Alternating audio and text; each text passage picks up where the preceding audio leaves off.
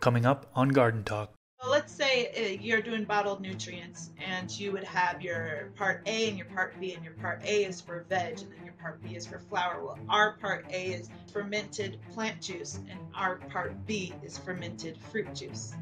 This is Oriental Herbal Nutrient. It's used for plants, animals, and humans too. OHN helps get rid of pathogens, diseases, ailments. This could help boost your immune system. Fermented plant juice is a rich enzyme solution made out of beneficial biochemicals inside of the plant.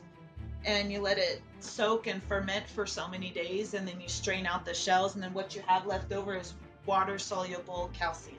Soil is, is filled with life. And as a regenerative farmer, all you're doing is maintaining that life.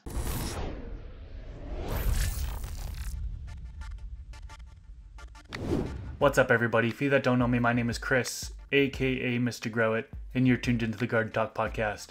This is episode number 57. In this episode, I interview GreenzGoddess. She has been gardening for eight years and grows a variety of plants, such as vegetables, houseplants, herbs, and medicinal varieties. In this episode, she talks about a handful of KNF methods, which stands for Korean Natural Farming. She also talks about composting, bokashi, and reveals a high fungal tea recipe. Thanks to all of you who support this podcast through Patreon. If you'd like to support, you can do so by going to patreon.com slash mrgrowit. Before we get into it, I want to acknowledge that one of my goals for this podcast is to bring zero cost for information about gardening, all plants, to the general public. That being said, I'd like to thank the sponsors of today's episode who helped make that goal possible. Thanks to Mars Hydro for sponsoring this episode. They have two different size heat mats, 10 by 20.75 inches and 48 by 20.75 inches, and you can get them with or without a digital thermostat, so you can really dial in the temperature. They also have grow bags. All of the grow bags are made of high quality thick fabric and have a handle for easy maneuvering. They have a ton of other products too, such as grow tents, grow lights, ventilation systems, and more. Check out their website at mars-hydro.com and you can use the discount code MrGrowIt for a discount on any of their products. Big shout out to AC Infinity for sponsoring this podcast. AC Infinity is well known to produce high quality products and provide excellent customer service.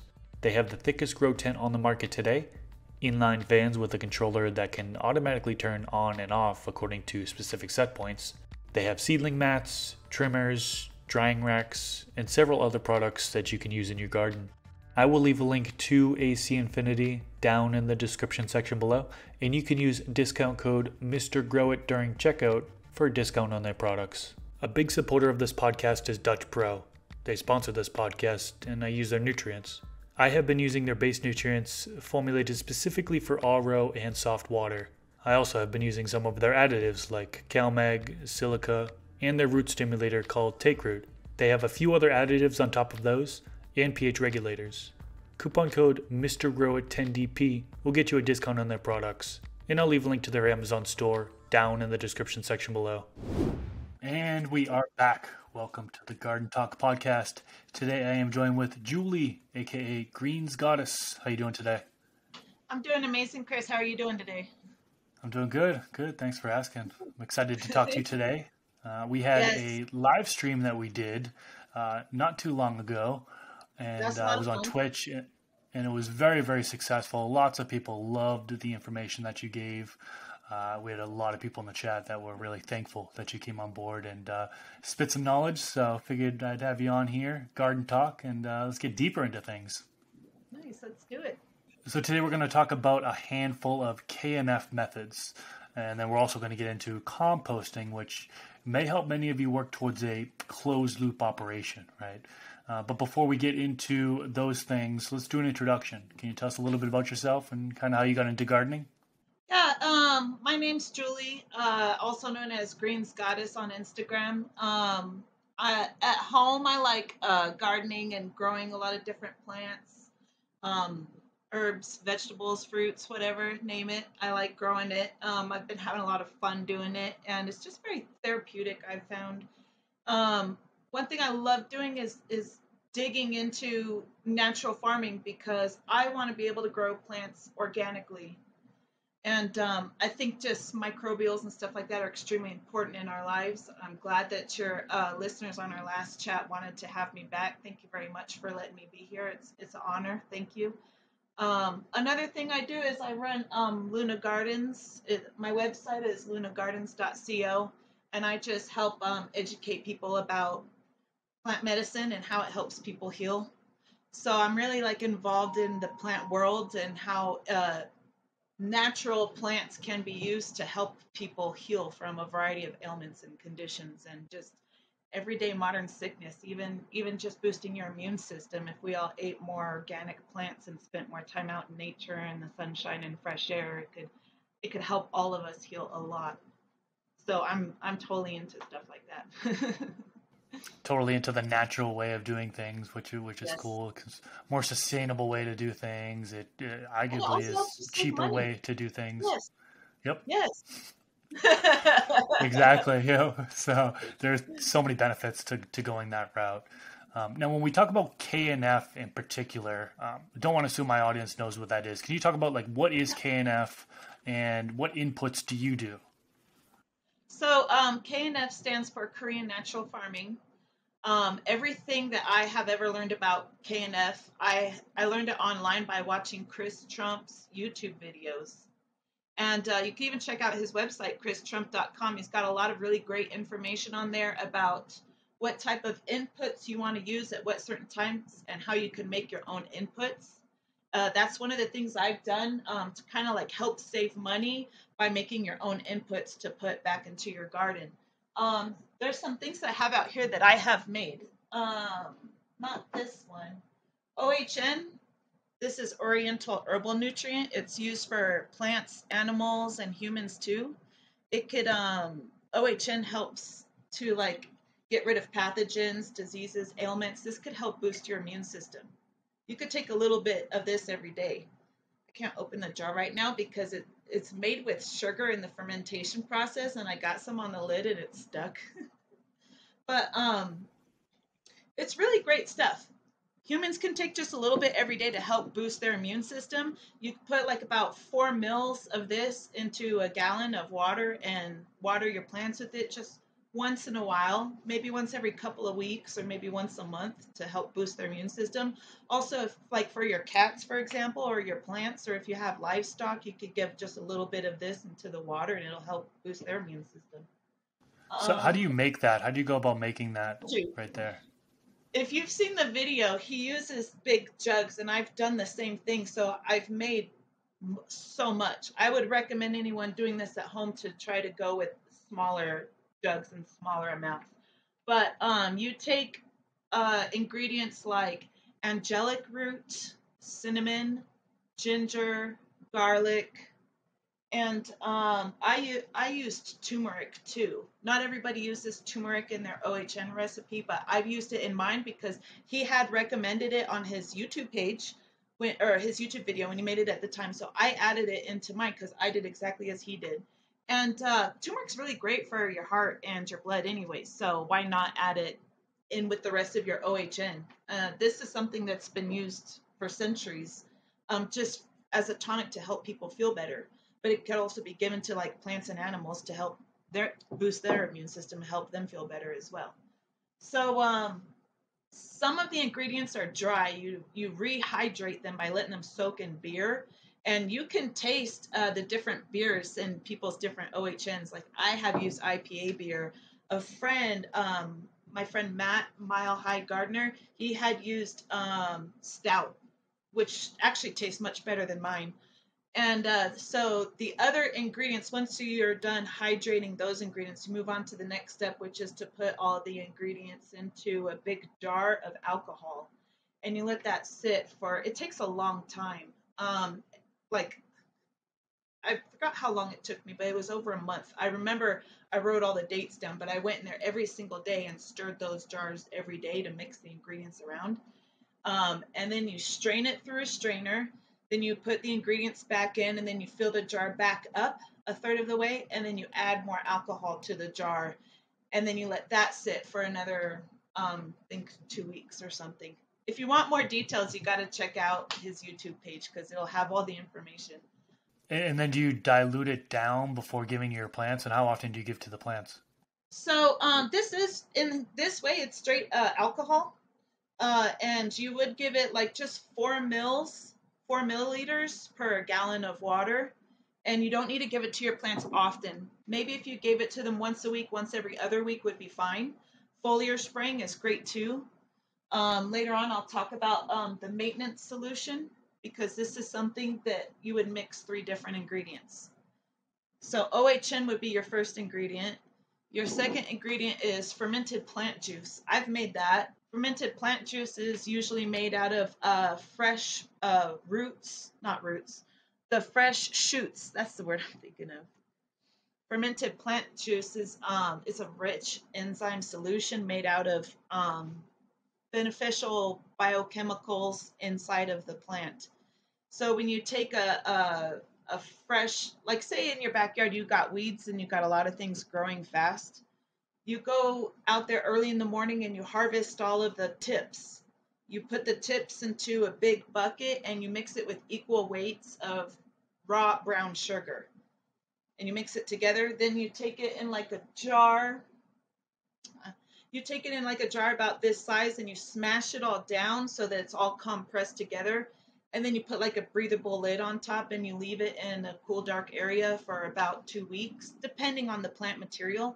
Some plants break down a lot faster than other plants but basically through that osmotic pressure and fermentation the um, sugar starts eating away at the plant and it starts releasing um, all of this great chemical compound in a liquid form and then you strain off and you collect the liquid form and you could use that liquid form. Same thing as um, EOHN, about four mils per gallon. Um, so there's two different things. The fermented plant, the fermented plant juice is made out of like fresh leaves, fresh tips, greens. So you're using that to as an input for your veg side of things to help your plants grow fast in their veg stage. There's another thing called fermented fruit juice. I made this one. Nope. Fermented fruit juice. This is made out of fruits. Like with the fruits, you're uh, getting out all of the nutrients and, and chemical compounds in those fruits that are letting your plants know it's time to make more fruit. So, same process. You cut up your fruits, you mix it in with equal weights of raw brown sugar, you put push it in a in a jar with a breathable lid and you give it like a couple of weeks for the fermentation process to do its thing and then you strain it out and you keep the liquid the liquid uh, for fermented uh, fermented fruit juice that's about eight mils when you're in flower.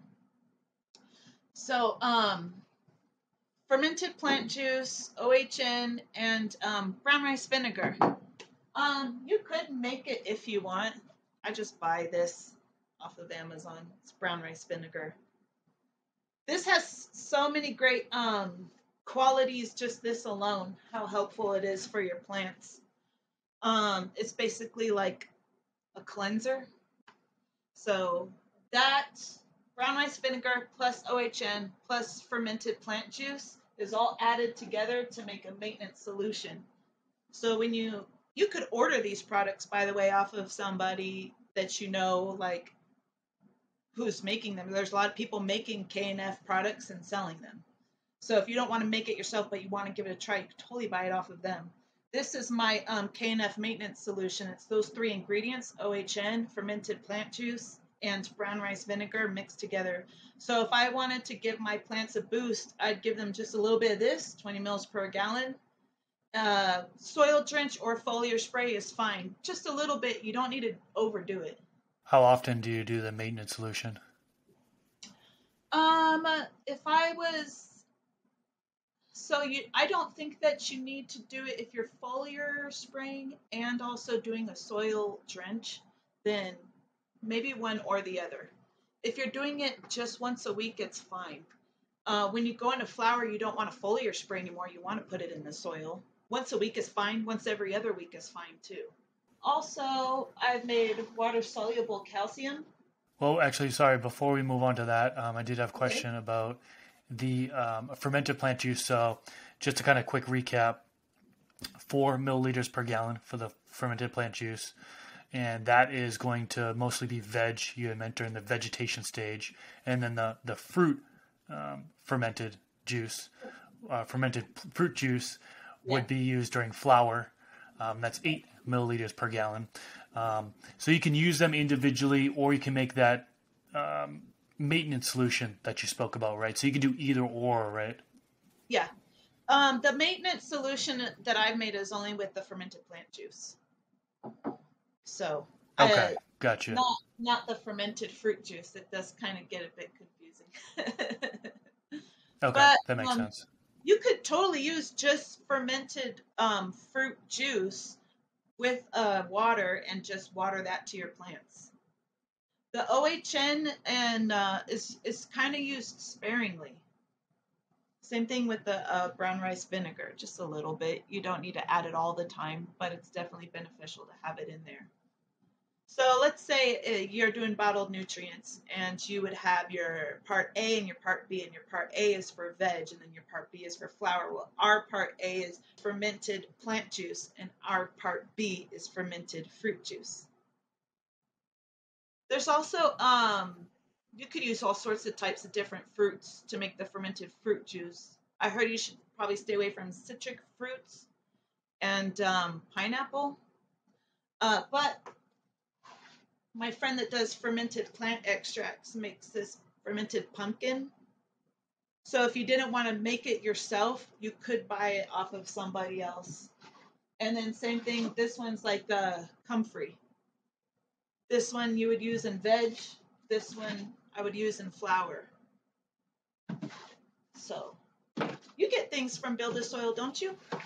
Oh yeah, yep, definitely. Uh, Do you I use them. fermented plant juice or? I have not. No, that's something I've been I've been wanting to do. So I think maybe this year I'll definitely experiment with uh, fermented juices. Absolutely. Yeah. What was that other thing that you were going to show behind you? Didn't Calcium. I cut you off before I cut you off. That's okay. Water soluble calcium. Oh, This okay. is made with um your eggs. You collect all of your eggshells, preferably organic, and see if you're doing your own regenerative farming and you had chickens, you would just use your own chicken's eggshells the best. Um, but what you do is you collect eggshells and you crush them up and then you cook them, preferably outdoors on a pan until they get like nice and brown. And then you put them into like one of these containers of brown rice vinegar and you let it soak and ferment for so many days and then you strain out the shells and then what you have left over is water soluble calcium available to be taken up to the plants love it they'll take it immediately You mentioned the eggshell should be uh, laid out, and that you should t- potentially cook it outside. So you wouldn't recommend that they do it inside in like their oven, for example.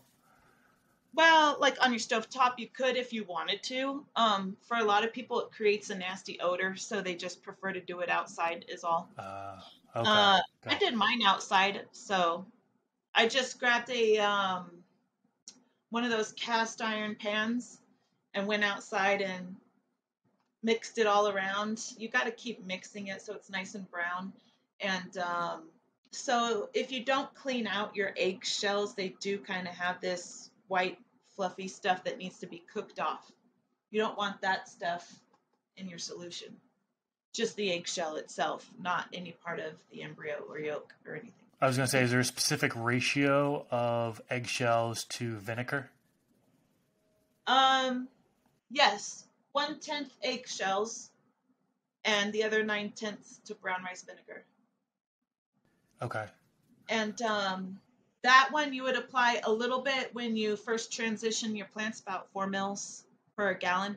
Uh, later on in flower, when they start producing, um, then you would put um, eight mils per gallon. Gotcha. Yeah, good information there. I know uh, there's quite a few people who want to ditch the bottle of CalMag, and this is the way to do it, right? Because you're getting calcium through the eggshells through this process. So uh, I'm glad you shared that today. There's there there's other easier ways to add in um, magnesium, like um, Epsom salt. Yep. So, but the the funny thing is, everyone's always saying more CalMag when something goes wrong, and and it could possibly be a lockout of another nutrient. Not that you're missing that nutrient, just that you added too much of one thing and you got a lockout of something else. Happened to me. Absolutely, yeah. I mean, the running joke is just add more CalMag, and then it's like, well, what type of CalMag? Is it military CalMag? Is there is there uh, medical grade CalMag? I love the old um, what was that one uh skit that people would say like, I have a disease and the only cure is more CalMag. There's so many memes out there. It's so funny. I know. so the other stuff, um, water soluble calcium, and uh, I already showed you my bloom ferment. Sea salt. Sea salt is one of the ingredients, one of the KNF minerals, um, and just a little bit uh, throughout the whole growth cycle. Uh, I wrote down here one to two grams of sea salt per liter of water. Once you measure it out in your hand, then you know how much goes in, and I put it in my water and I let it swirl around, and I put that in. Um, this is fish amino acid. I got this off of a friend from Neverwinter Farms. This is his FAA. He's got a buddy that uh, is a fisherman, so he goes to his friend all the time to get fish off of him. He loves fish. I'm not a big fan of fish myself, so I would I don't want to go out there and go fishing. so if you love fishing, but uh, let's say you come home and you're eating up some parts and you've got a whole bunch of heads and tails left over, whatever you're not eating, you take all your fish, same thing that you do with the rest of the inputs, equal weights of brown sugar, put it in a bucket, shove it down, um, let it ferment for a long time. Fish amino acid takes a long, long, long time to ferment. Um, but this could be used um, all throughout the growth of your plants. A little bit more uh, during the beginning of your plants because they need a little bit more of that nitrogen, not so much towards the end. This has a lot of uh, nitrogen rich nutrients and enzymes and stuff like that in it. And like for example, if I couldn't make it myself, you could always buy it off of somebody else. This is Conscience Natural Inputs. Before I started making my own KNF inputs, I was getting his just to test the waters and to see if I liked it or not. And then after that, some things are easy to get. The salt's easy to get. The brown rice vinegar is easy to get. You could get this. It's easy to buy it and just give it a try if you wanted to grow organically. So these are the KNF inputs that I have been messing around with. I I really love it. I don't know if it's because I just love making things so much, but I just have a good time making all these inputs. Fermented plant juice is my favorite. It took me so many tries before I got it right doing fermented um, plant juice with leaves but that depends on which leaves you're buying. Some of them break down really easily and some of them don't. And it's a learning process. You learn along the way. Sometimes you just got to jump in and get your hands wet. I also wanted to get into that a little bit. Leaf mold, right? I know you spoke about it a little bit on the live stream. Um, I think it's value added to speak about it here as well. Can you talk to us about leaf mold and how you get that? Leaf mold is what happens when um, you're like out like under a tree or in the forest or something like that. And all the branches and all the leaves and everything that may have grown and then died and then grown and then died, they all start to collect and they are what is making up your soil. It's all mulch. So that's another thing why mulch is one of my favorite things to have around. It's great when it can help keep your soil moist uh, but even better is the breaking down of the mulch. Just because the leaf is dead doesn't mean that it lost the nutrients that were inside of it. It's still stored in there.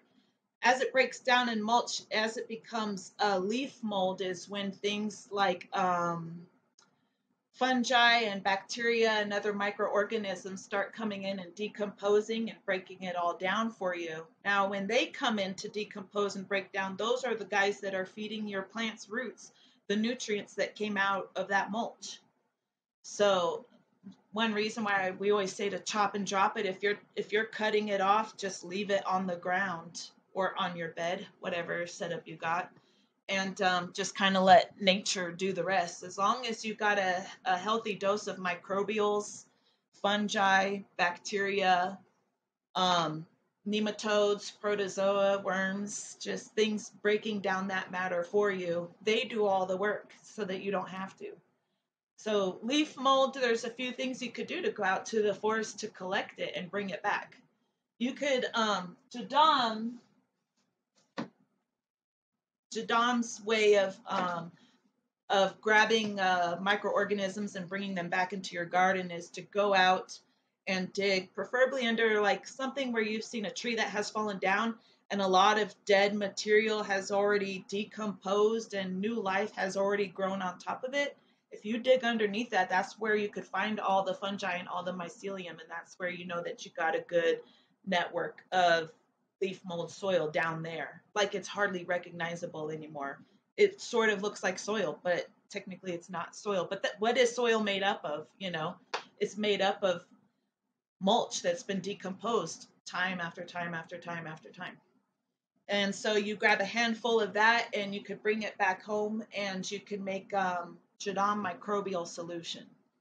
And sort of the same thing as a compost tea where that you're giving it some carbs to feed it like a baked potato, a little bit of that sea salt in the bottom of the bucket and um, you let it sit in the middle of the bucket for a few days depending on the temperature.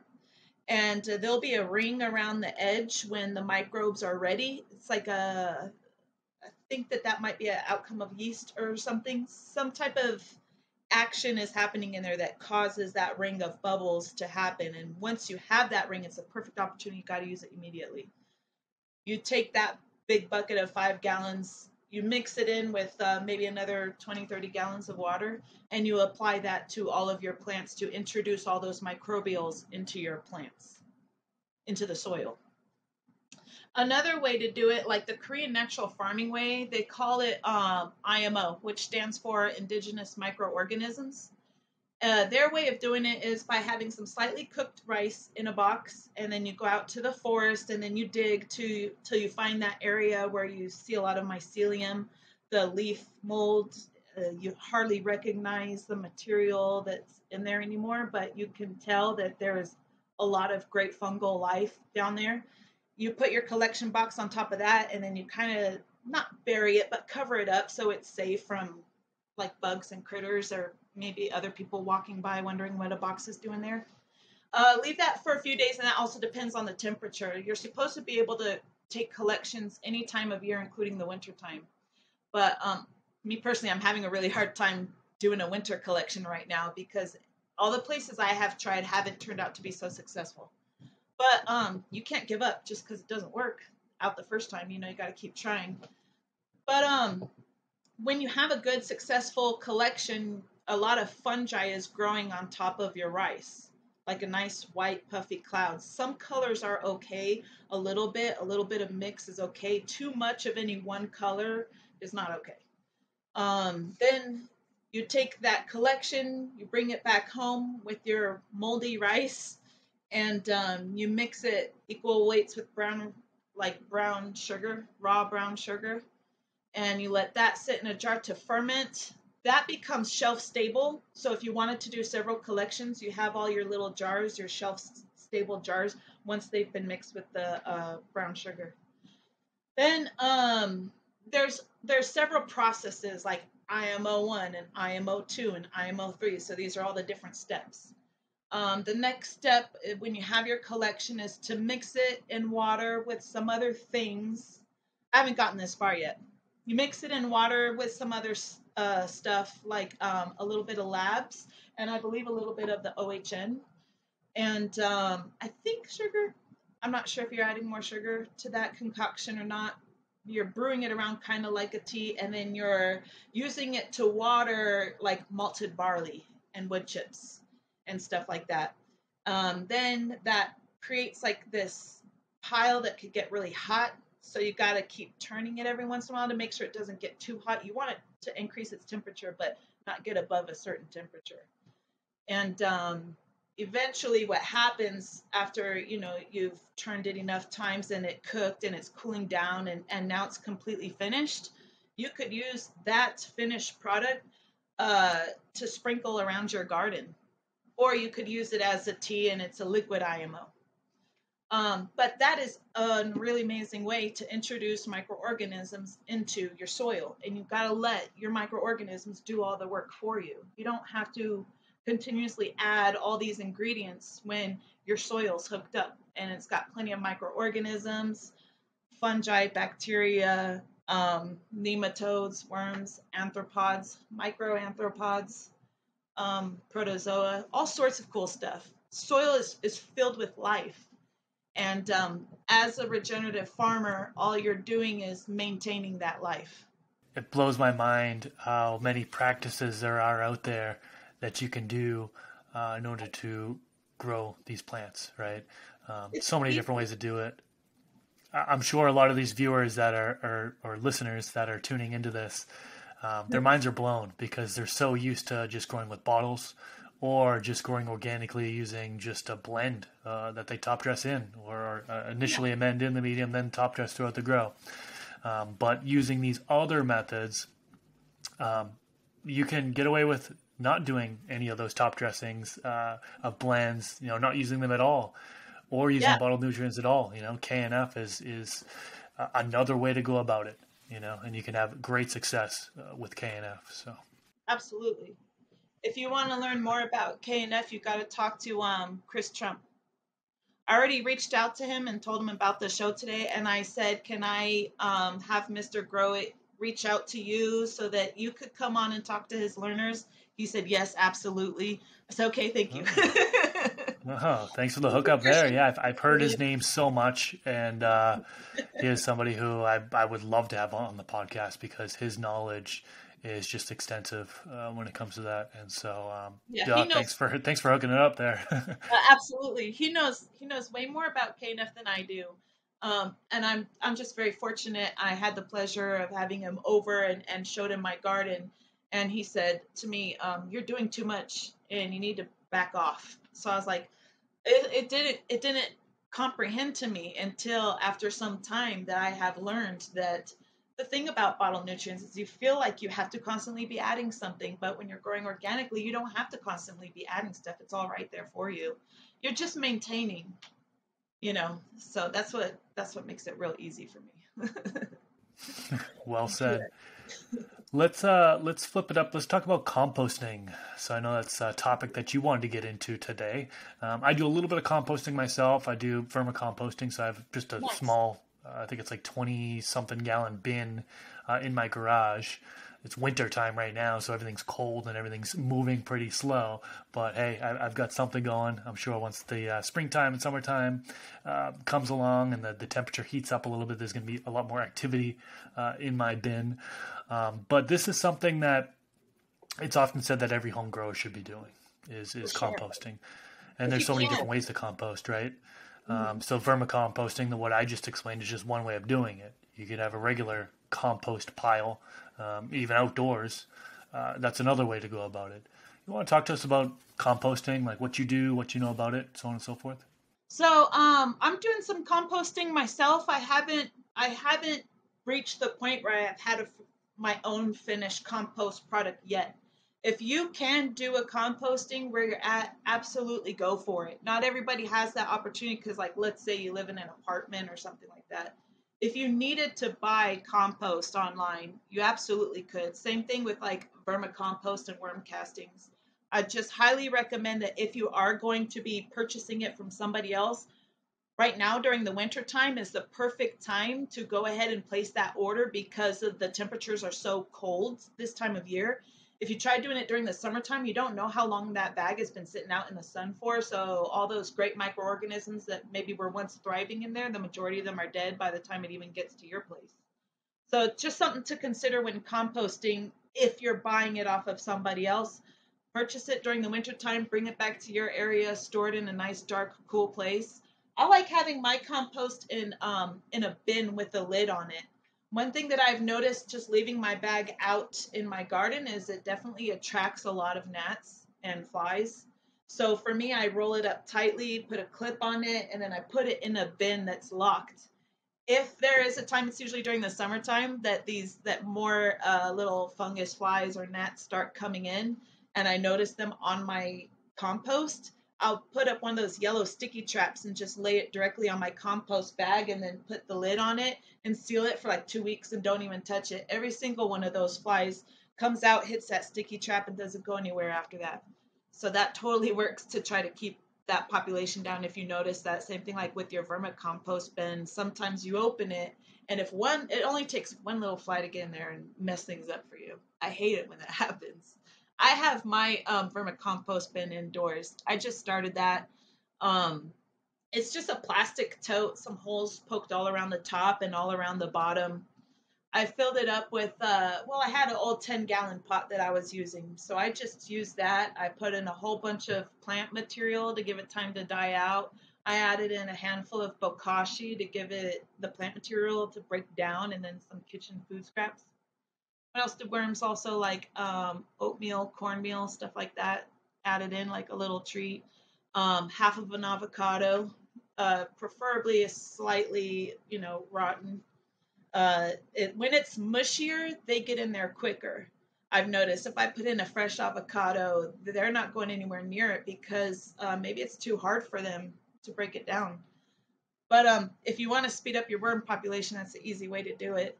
One thing I uh, vermicompost is is really amazing, but it, it is high in bacteria. That's just something to consider depending on which types of plants you're growing, because um, uh, annuals, things like that, usually like really high bacteria environment and soil to grow in. And typically, trees, shrubs, or your perennials usually like more of a fungi dominant soil to grow in. So, also has a ratio of bacteria to fungi.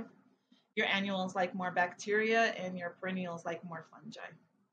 But vermicompost is really awesome. It's got a lot of bacteria, and the uh, worm castings are coated with polysaccharides and carbohydrates and simple proteins.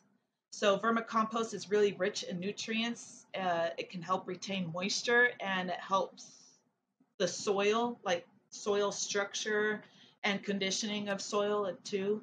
Um, might be able to help get rid of some pathogens anytime anyone is mixing up new soil that they want to start a new garden in, you should add vermicompost, which is worm castings, and regular compost, like cow manure.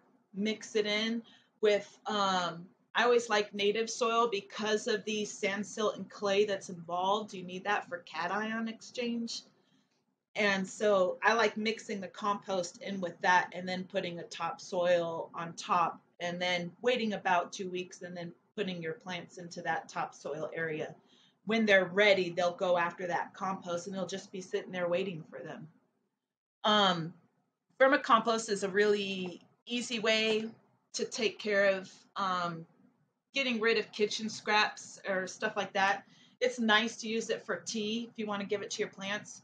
Regular composting can take a bit longer. Uh, there's hot composting and then there's cold composting hot composting um, it's it's ready pretty quickly. Uh, it gets really hot and it really cooks and you gotta you gotta turn it and mix it so that way what was in the center is now on the outside and what was on the outside is now in the center to, to even it out.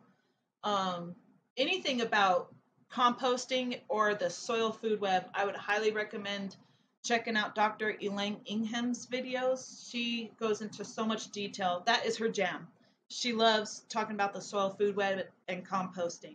And even um, Lowenfels, the guy that wrote this book, he uh, took her course and got into um, composting and the soil food web with her and highly recommends checking her out as well.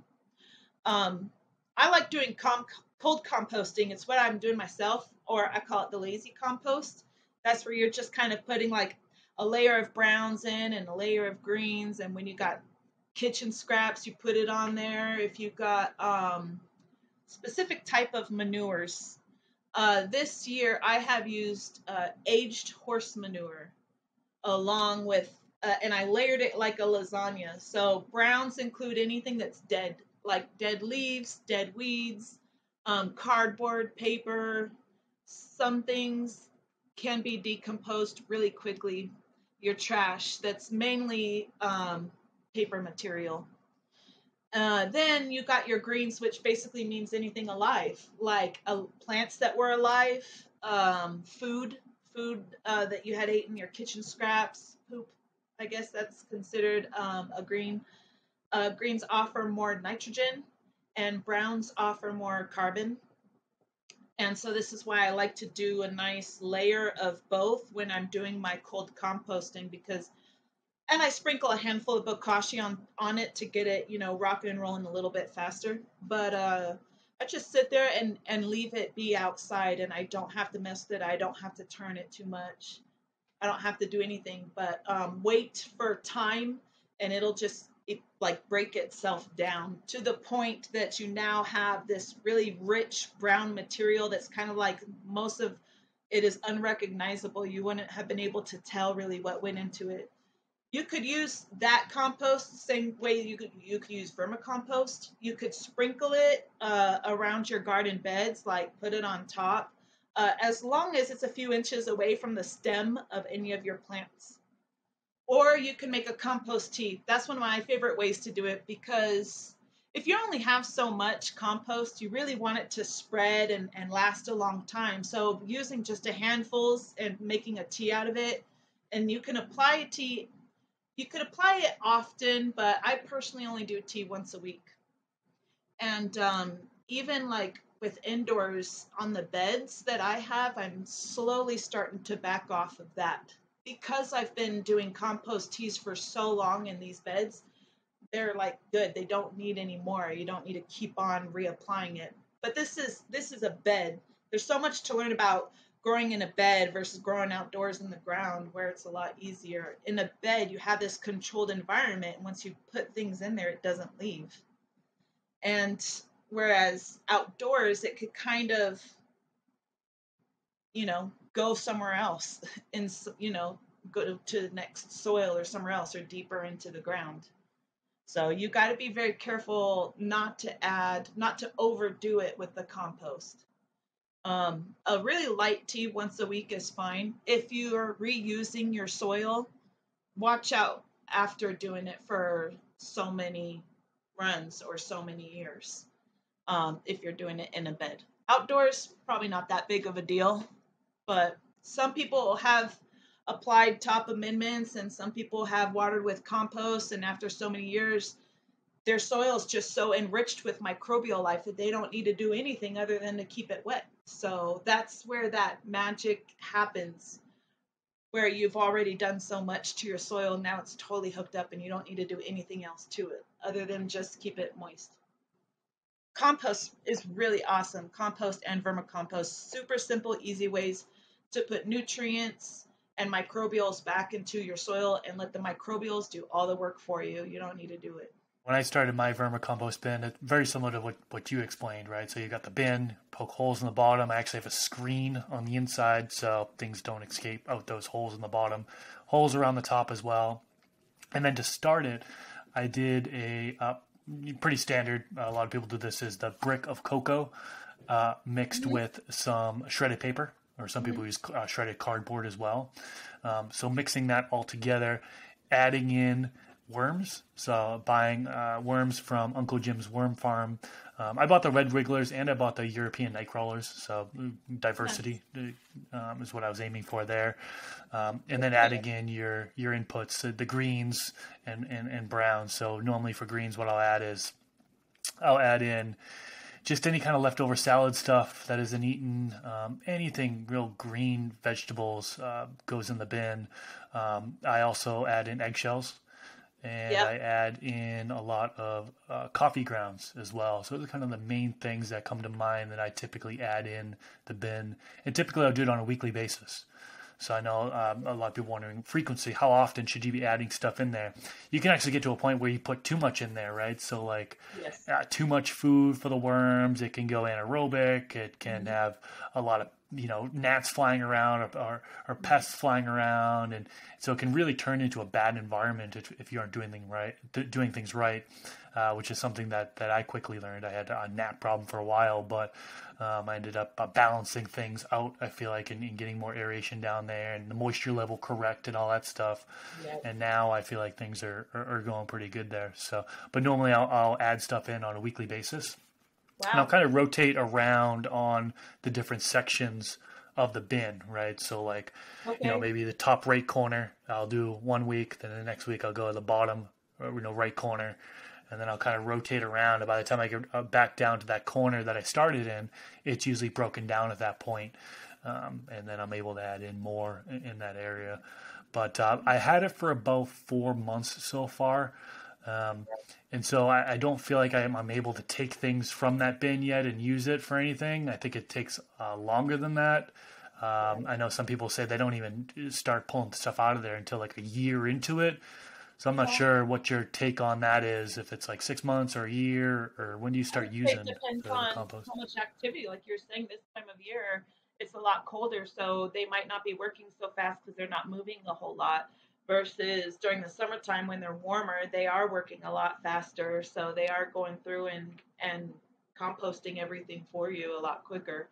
Um, the other trick, I think we were talking about this last time we did our show, was um, instead of just you could just put your food scraps in there, but instead of doing that, you could also put them in a blender so that they're already broken down and extremely available to all the worms yep. and other microbial life because it's not just worms that make up that worm bin. It's it's the fungi and the bacteria and, and other things breaking it down and then the worms come and eat that.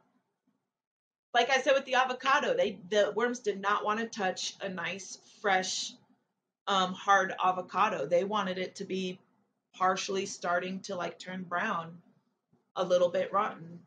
Um, they don't like citrus stuff, I've heard. They don't like the orange peels or, or lemon peels or anything like that. They won't eat it or go near it. Um, I always like throwing in apples and stuff like that. Um, I like cornmeal. It just it's funny. I've watched so many videos on uh, vermicomposting, and there's this sweet English lady that loved her worm bin and would go on about all these treats she was giving her worms. She goes, "I love to give them little treats like the cornmeal." and I think about that every time I go to open up my worm bin when it's time to give them a little food. I'm like, give them a little cornmeal. but it's fun. Like it's fun to make it. Um, it does take a while until you could actually reap the rewards of the vermicompost bin. But um, once you do have it going and, and you get it and you understand it, and then you could kind of keep like maybe two bins. Like maybe this bin is ready to be harvested a little bit out of while this bin is working, you know. And that's just a super, super easy way to put more micronutrients and microbial life back into your soil that's readily available to your plants. Absolutely. It's a step towards closed loop operation. So for sure. And then the same thing with the outdoor composting in the cold compost pile, worms will make their way up there. So that outdoor compost pile also has worm doo-doos in it also. So you are totally good to use that. You don't if you're outdoors, you don't need both the outdoor pile and a worm bin.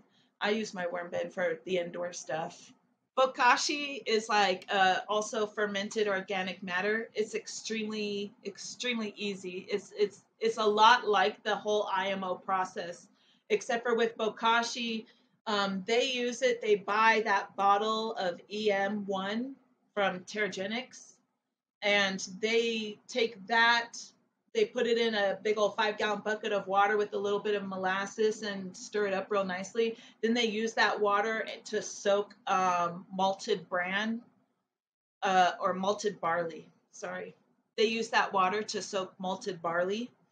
And then um, you let that sit and ferment in a plastic baggie for like two weeks. And then after that, you take it out and then you let it dry out it takes a few days and you turn it so often but once it's completely dry you now have like bokashi that could be put in a bag or it's shelf stable. You could buy bokashi. This is from kashi blend.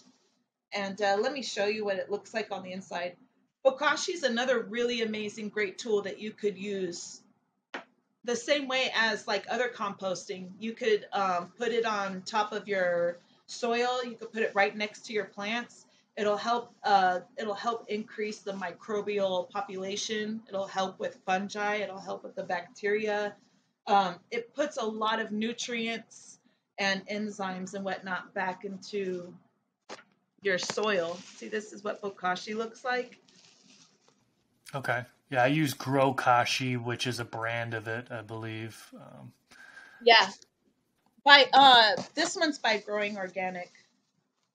So this one has the rice bran, uh, a lot of other wheat bran and insect frass. molasses and then the EM, but they put other stuff in here like um, biochar and uh, high nitrogen amino acids. So with the with the compost and the bokashi, once you have enough, you don't need to keep reapplying it, and so it's just something to look. You you don't need to do too much; just a little bit is good enough.